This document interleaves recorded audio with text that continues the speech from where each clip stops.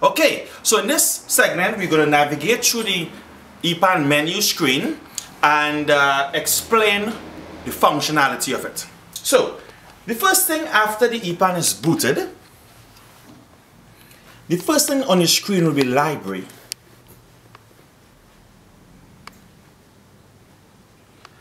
There are five different libraries in the, in the EPAN. Let's click on library. First one the EPAN normally goes to a steel pan and then flamingo. After flamingo, you get cocorico. Then we have hummingbird. We have scarlet ibis. Steel pan tone. Different sounds in steel pan. Back to flamingo. So, in each of those libraries, you have a full orchestral different tones in the orchestra. So when you're in flamingo, you have trumpet, violin, guitar, and you can go on and on and on. When you're in cocorico, the same thing applies. All right?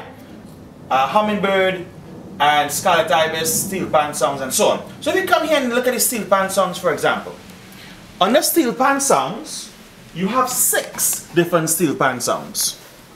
On the flamingo, you have 188 different tones. So several trumpets, several pianos, and so on. On the cocorico, you have 137 different tones. Alright? Different trumpets from flamingo. On the hummingbird, you have 137 different tones as well. On the scarlet ibis, you have 286 different tones. Alright? So that's it for the library. Now let's move along. We'll go to, go back to the back. So we go into the menu. And when you press menu, there are four different sub, sub menus there. Under EPAN settings, let's see what happens. This is quite simple. Basically, you can take your songs on or take them off. Off means if you play the pan now, nothing will happen. So if you're using MIDI, for example, and you want to use external tones, you can take your EPAN tones off. You press on it again, it comes back on. Sustain, same thing. If you want sustain on or you want sustain off, by pressing the button. LED, black, backlighting. LED, backlighting, on and off. Alright, that's the different tones in the back screens. Um, here you have stop all notes. So if you want to stop all notes suddenly, you can just press on that once and all notes will stop. One more thing here is the display brightness. You can slide it down 50%, you can bring it down to zero, or you can carry it back up to 100 or whatever you want. Alright? So that's under the EPAN settings. Let's move along to MIDI. Again, that is MIDI settings. You click on MIDI settings and you have four different um, options here. Let's go to transpose. Transpose basically can go up to 11. 0, 0 means regular C. Or in this case will be, yeah, regular C. So that's regular C I'm playing there. Alright? If I press on transpose once, it goes up to 1. And that goes up a semitone. And I go again. So C, C sharp, D. E flat, E. E flat, E, F, F sharp, and so on. You go all the way up to 11, and that will be B. Alright? So from C, if you go up a semitone 11 times, you end up playing B, but you're on the same note. Alright? Let's go back down. Alright, let's go back down and same thing can apply in the opposite direction. Alright? Let's put it back to 0, 0, where it is. Let's, let's talk about that a bit. So, what's the purpose of that? The purpose of that is, let's say you know a song in C. Alright? But you go on stage and the band is playing it in C sharp or D you can now trans hit that transpose and you will play it in the same note location as C, but now it will now come out in D or E flat or whatever key the band is playing that particular tone on, that sound in, okay? So that's a, a neat little feature there that you can use. Okay, let's go to tuning. Tuning is another important little uh, feature that you can use. Alright, tuning, you can go up in increments of 1 or you can go up in increments of 10. What tuning does, let's start with C again. What tuning does is, um, you're back to zero. Sometimes people not tuned together with you and they're off and you don't know. You could tune to, to what, you could try to fine tune.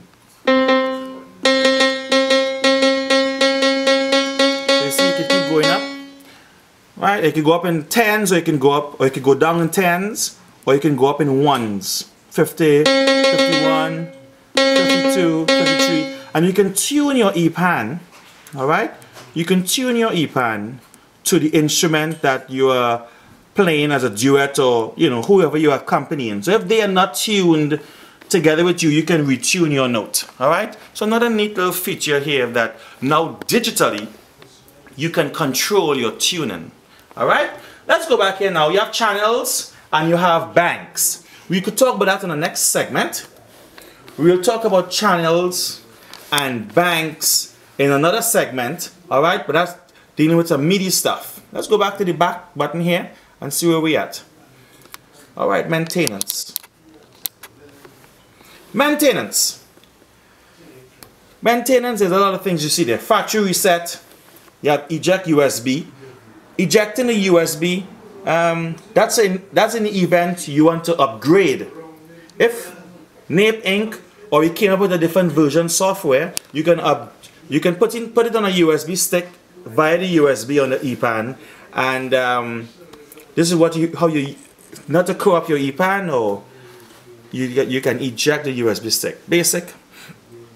Factory reset is if you do press a lot of buttons on the EPAN and you don't know how to get it back to its original state. Factory reset is it's quite simple. To do factory reset, you just press it once, you click factory reset, it shuts down and reboot. Okay, let's go back. Um, installing a library. Alright, there's no library there to install, but installing a library on via the USB, you can you can uh, record your own tones, whether it be trumpet, violin, guitar, or you can record your own pan tones, for example, and call it your name. All right, so you can call it Joe Blow, um, and you put it into the EPAN, and you can install your own library. All right. In the future, we might have libraries where we can uh, sell or offer, and it will, it will. That's where the via USB. That's where it will come in. All right. Installing a library. Firmware. If you come here, you can see the firmware. All right. Firmware updates. That's where you update your firmware you put it in. The computer onboard computer will recognize it you update. All right. Remove library. So okay. So there's Cocorico Hummingbird and Scarlet Ibis so three libraries we, we give you there that you can remove. All right. All you hit is the remove button. Scroll along which one you want to and you can remove it. All right. That's simple systems info you the system and all what your memory and stuff is, is all about here. See firmware this is version 14 and so on and so on. Installing purchases we talked about that already. If you have a, a new song you want to put in you can put it in right there. And then pad mapping the most important one pad mapping. You click on pad mapping. Alright you click on pad mapping and um, to change the location of your notes you could hit edit mapping alright what will happen here is you can scroll down and you can move the notes around. How that happens? Let's say this is C. This is C4, right? Low C. And we want to make it high C, that is C5. You come here, you find C5. Alright, let's scroll on quickly and find C5. That is C5 right there. Where you want C5, you want C5 to move from on the big note. So you go to C5. You click on it once. By touching it once, all of a sudden this note is now C5. let's go and move C sharp 2. Let's make C sharp C sharp 5. So you scroll along once, that's C sharp. You click on the note, the pad, it's now C sharp 5. Now the inside C, we'll make it C6. You scroll along till you find C6. There we have it. C6.